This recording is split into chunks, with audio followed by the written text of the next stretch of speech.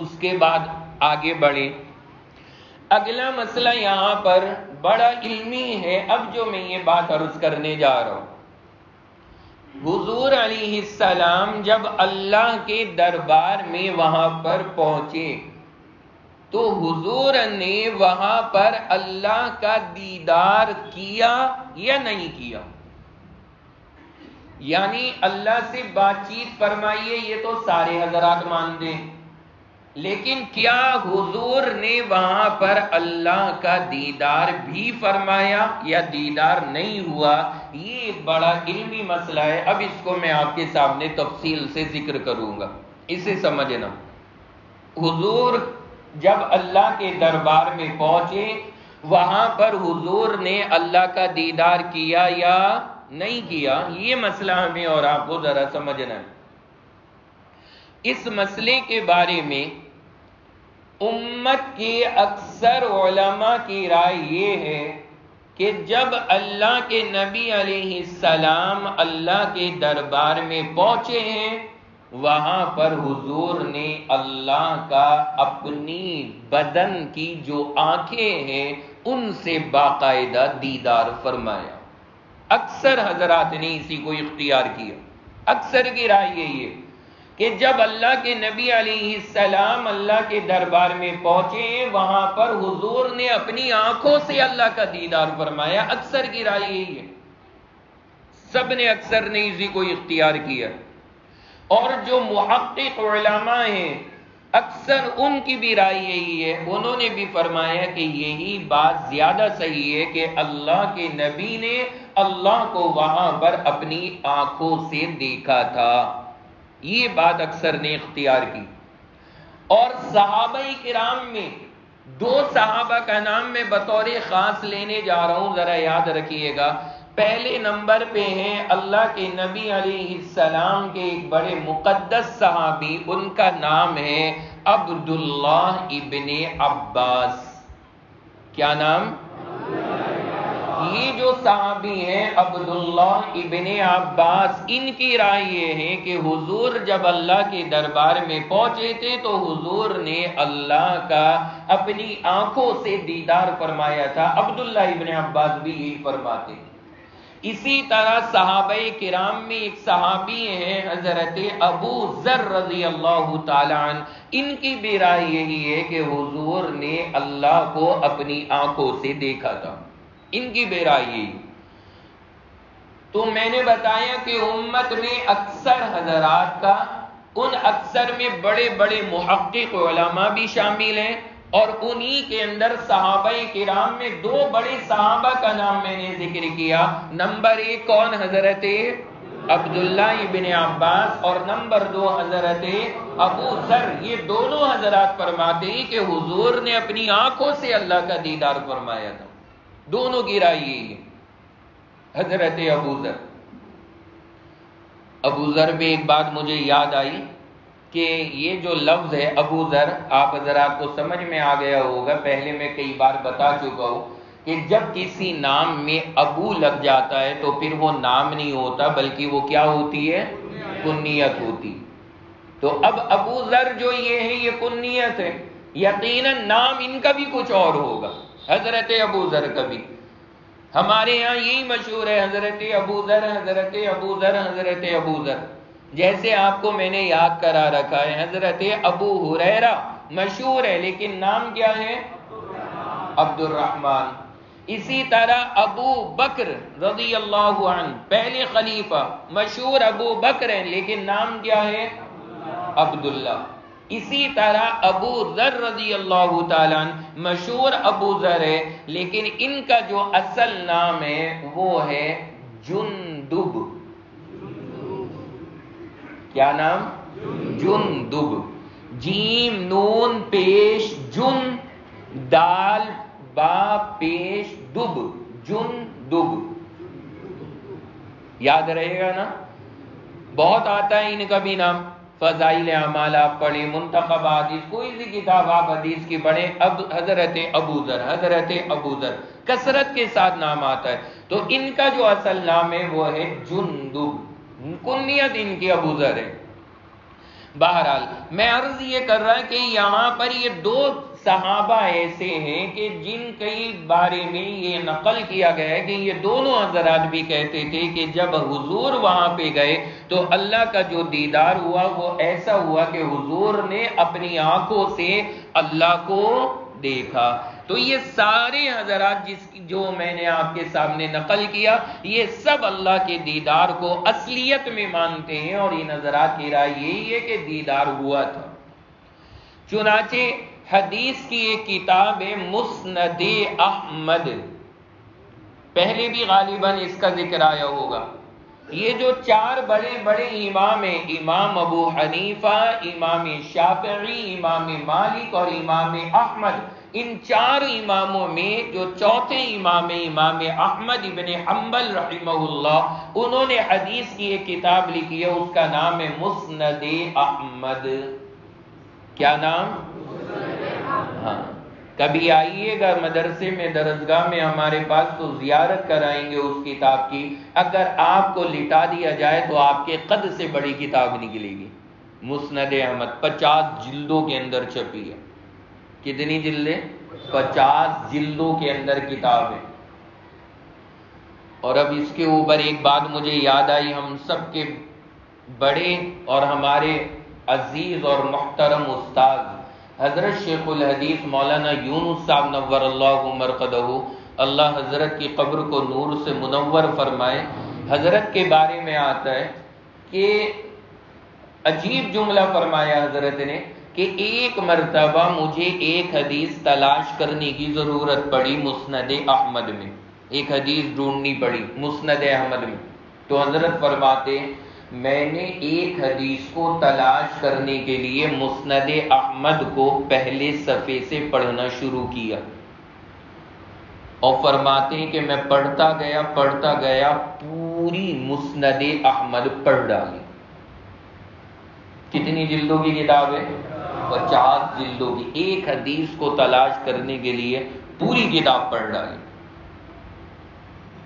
वैसे ही कोई ना इतना बड़ा आदमी बंदर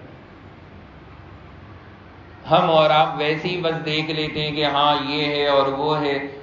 ये कुर्बानियाँ भी तो देखनी चाहिए। कोई बैठे बिठाए थोड़ी बन जाता है। सारी, बढ़ डाली।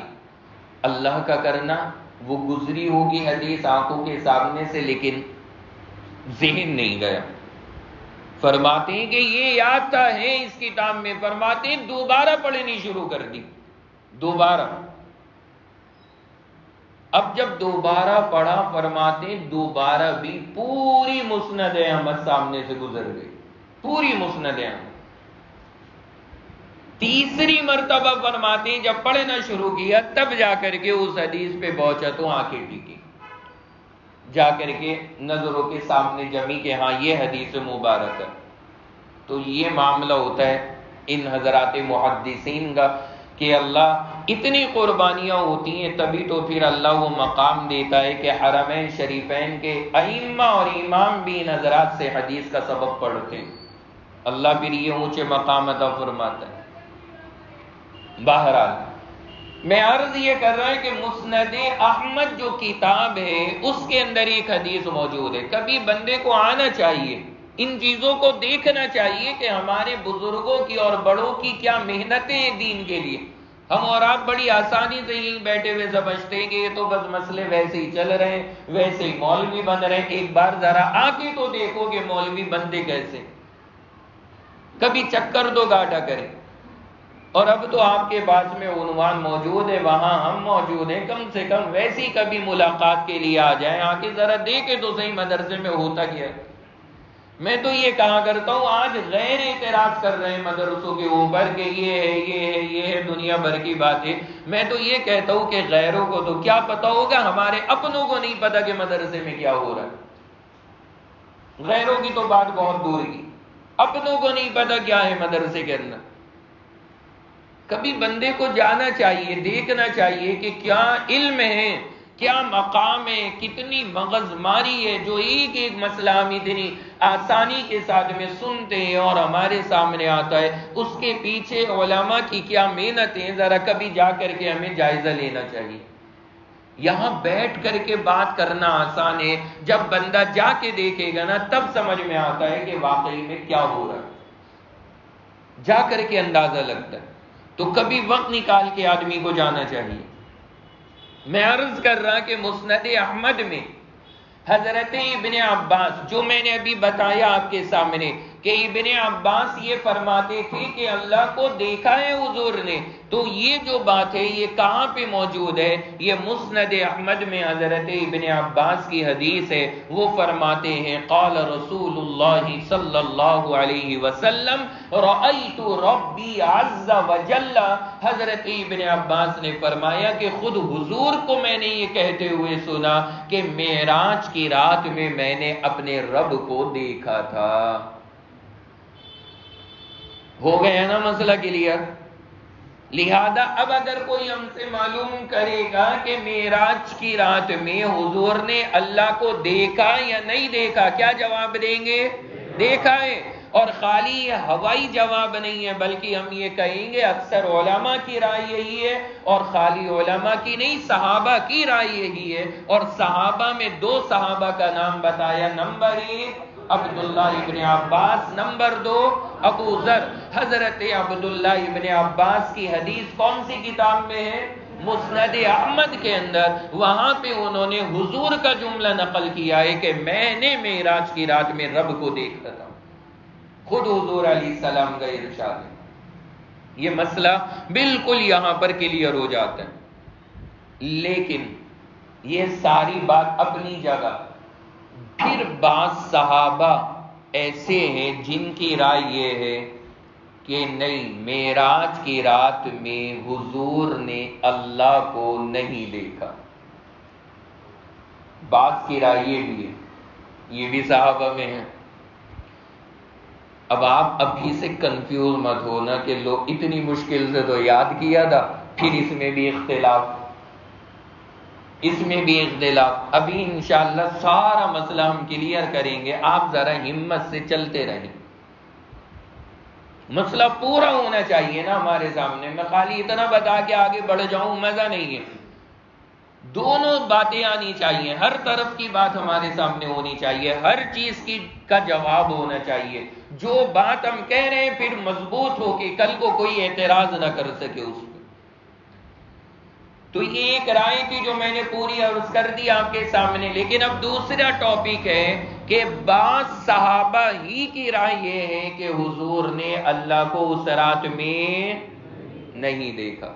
और इन सहाबा में कौन है? इनमें बस एक का नाम याद रखना, वही हवाला बड़ा भारी और हैवी हवाला है। और वो नाम है उम्मुल मुमिनीन, हम सब की माँ पैगंबर की चहीती और लाडली और महबूबा जोजा हज़रत आयशा सिद्दीका बिनते अबी बकर रज़ी अल्लाह इनका नामी गिरामी। इनका कहना है कि मेराज की रात में हुजूर ने अल्लाह को नहीं देखा। अम्मा आयशा की राय है। अम्मा आयशा से पूछा गया आपकी क्या दलील है?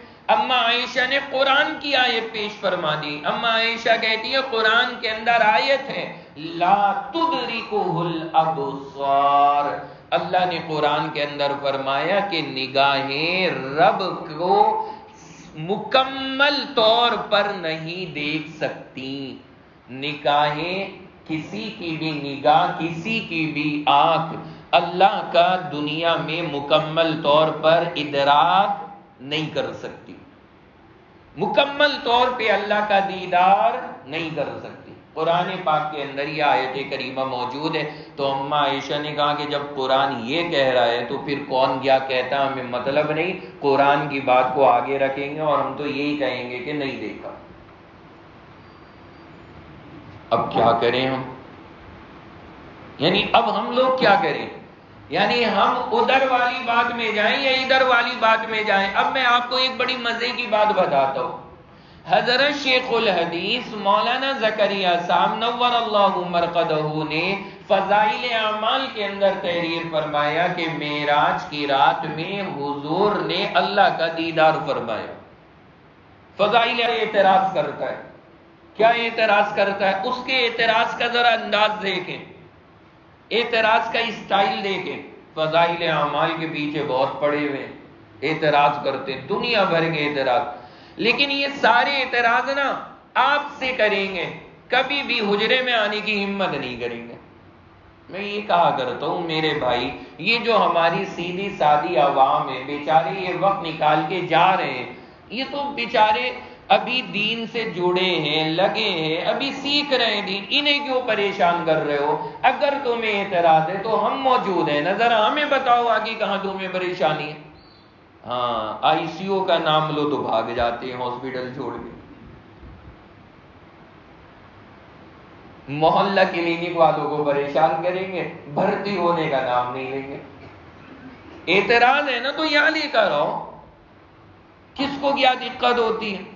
हम तो इन एतराजात को लेकर के दूसरी जगहों तक पे चले गए। हमने पहले बड़े हंगामे देखे, इसमें ये एतराज़ इसमें ये परेशानी, इसमें ये परेशानी, जब वहाँ पहुँचे कि लाओ भाई, क्या परेशानी है?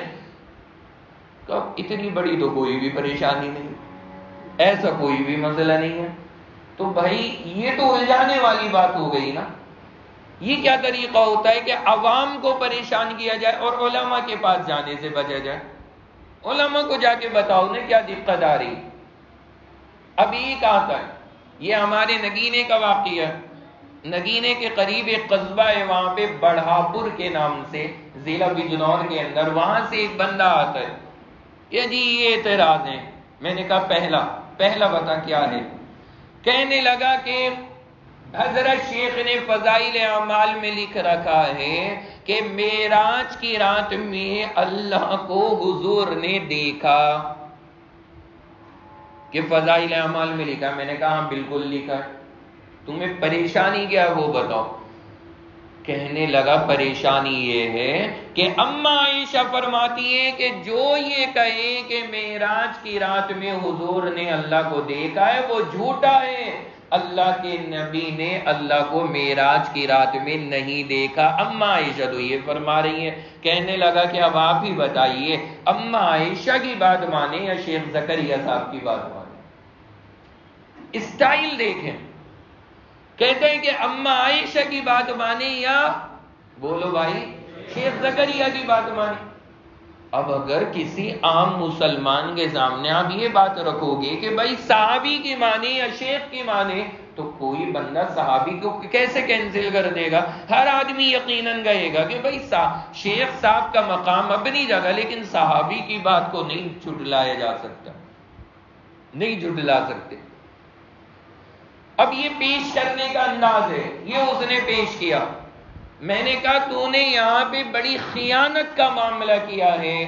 तुमने यहाँ अम्मा आयशा का मुकाबला शेख जकरिया से करके दिखलाए ये मुकाबला गलत है। यहाँ अम्मा आयशा का मुकाबला शेख जकरिया से नहीं है। अम्मा आयशा का मुकाबला अब्दुल्ला इबन अब्बास से है।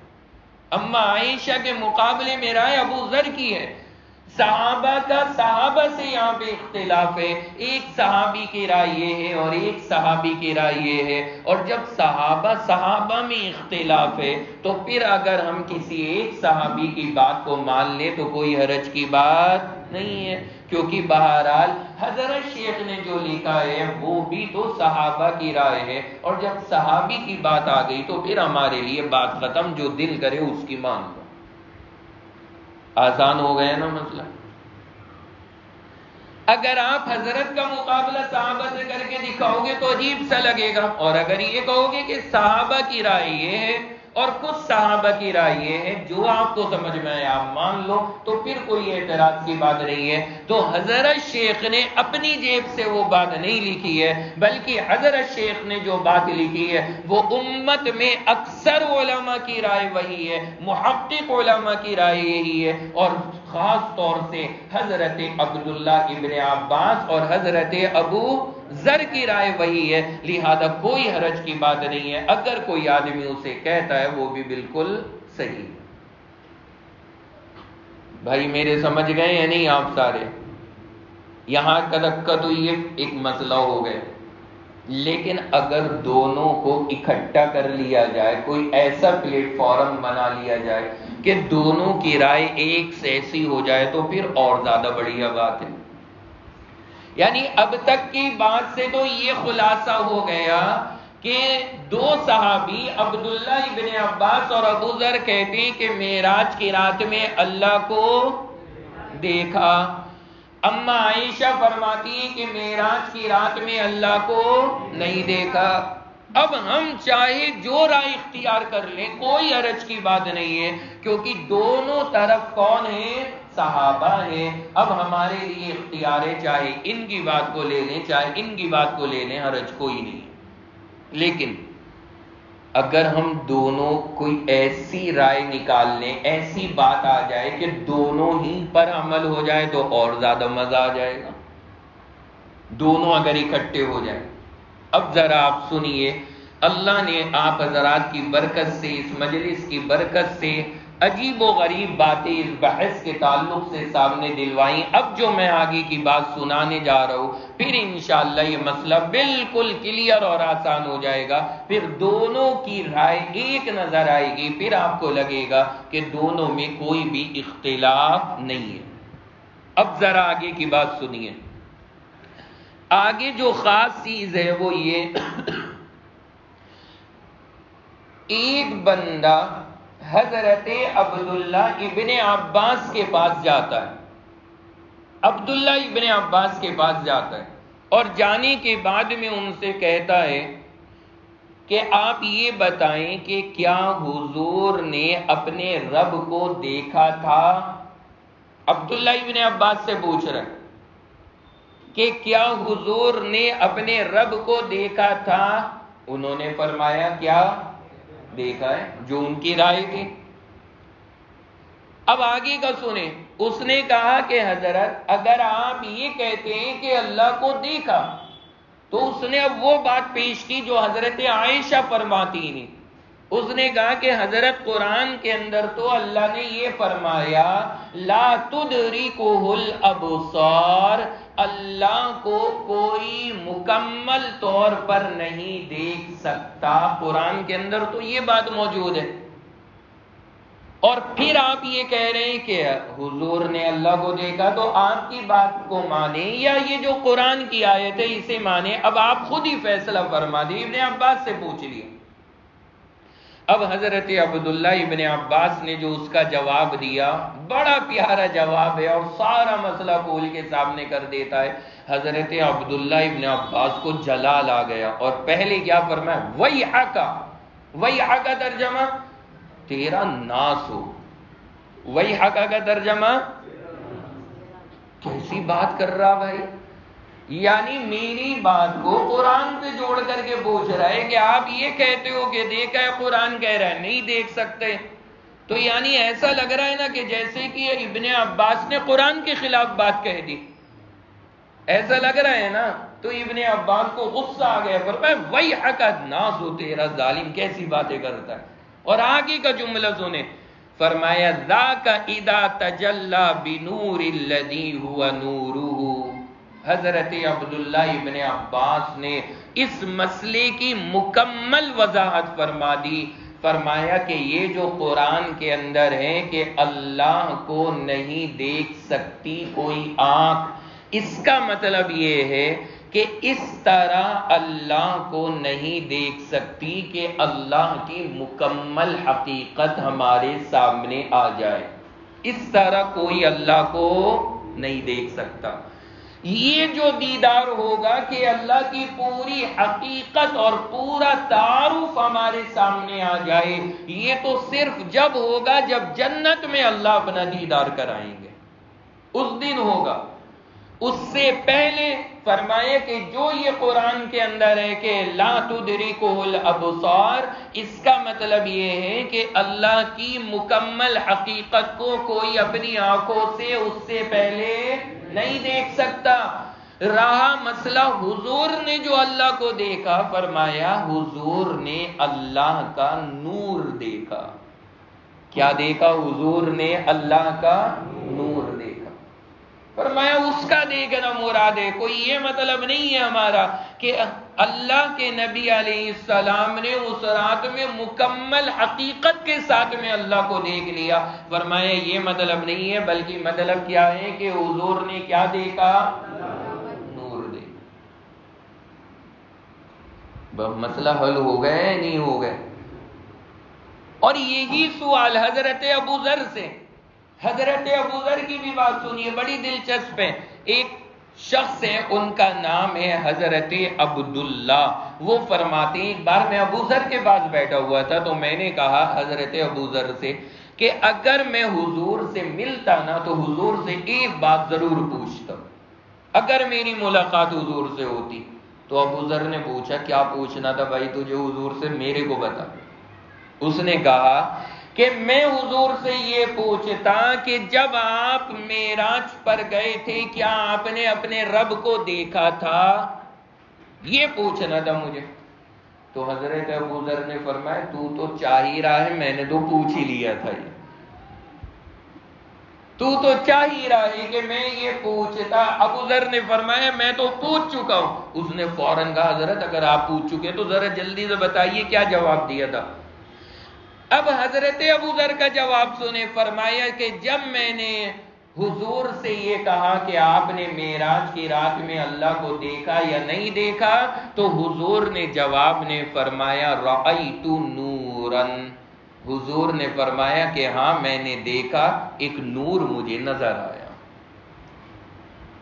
एक नूर मुझे नज़र आया।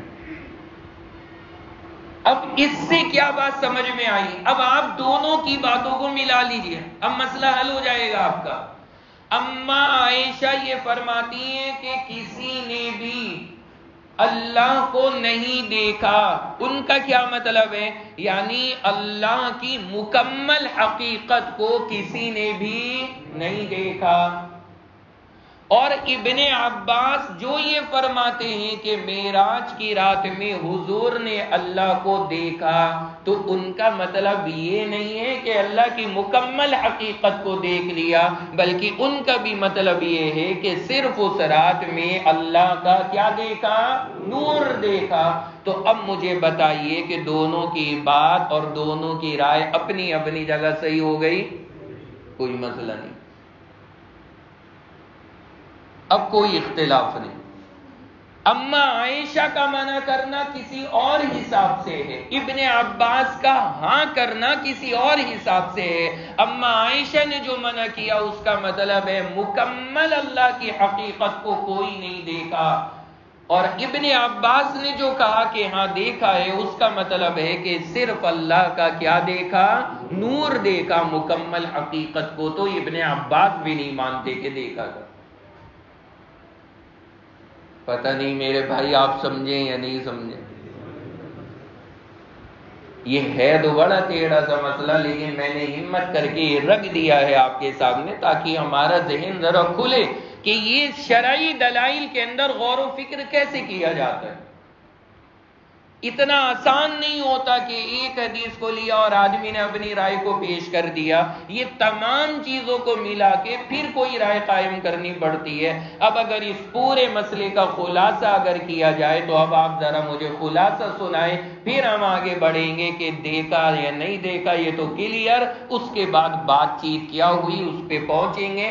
पहले आप इसका खुलासा बता दें। मैंने अर्ज़ किया कि जब हुजूर अल्लाह के दरबार में पहुँचे तो सलाम कलाम हुआ और सलाम कलाम होने के अंदर हुजूर ने क्या जुमला कहा? बोलो भाई साहब फिर से। अल्लाह का जवाब क्या आया? फिर हुजूर ने क्या फरमाया? हज़रत जिब्राइल ने क्या कहा? उसके बाद हुजूर ने जब सजदे से सर उठाया तो अब मसला पैदा हुआ कि रब को देखा या नहीं देखा? तो मैंने शुरू बात यहाँ से की कि अक्सर उलमा की राय यह है कि हुजूर ने अपनी आँखों से अल्लाह को देखा था। और उन्हीं में दो सहाबा हैं कौन कौन हज़रत अब्दुल्ला इबन अब्बास और हज़रत अबू जर दोनों फरमाते हैं कि देखा है, लेकिन कुछ सहाबा की राय यह है कि अल्लाह को नहीं देखा। उनमें कौन है हज़रत आयशा?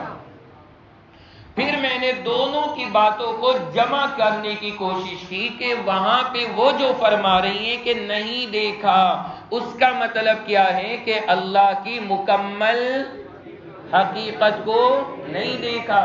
और इब्ने अब्बास जो ये कहते हैं कि देखा, उसका मतलब ये है कि अल्लाह का नूर देखा, मुकम्मल हकीकत का देखना अब्दुल्ला इब्ने अब्बास भी नहीं बयान करते। लिहाजा दोनों की राय अपनी अपनी जगह दुरुस्त है और बात बिल्कुल सही